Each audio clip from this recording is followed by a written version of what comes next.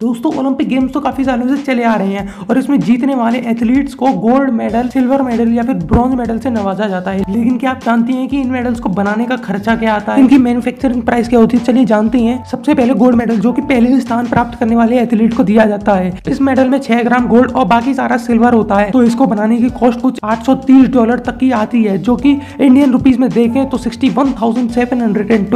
होता है अगर हम बात करें सिल्वर मेडल की जो की दूसरे स्थान प्राप्त करने करने वाले एथलीट को दिया जाता है उसको बनाने की कॉस्ट आती है कुछ four hundred and forty five dollar जो कि इंडियन रुपीज में कुछ thirty three thousand eighty six rupees होता है और लास्ट में आता है ब्रॉन्ज मेडल जो की तीसरे स्थान प्राप्त करने वाले एथलीट को दिया जाता है इसको बनाने की कॉस्ट कुछ दो से ढाई डॉलर तक की आती है और अगर हम इसे इंडियन रुपीज में कन्वर्ट करें तो ये कुछ वन डॉलर होता है दोस्तों इस वीडियो में मैंने सिर्फ इन मेडल्स की प्राइस बताई है वैसे तो ये मेडल्स एक कंट्री के लिए और एथलीट के लिए बिल्कुल प्राइसलेस होते हैं ऐसी अमेजिंग फैक्ट्स के लिए चैनल को सब्सक्राइब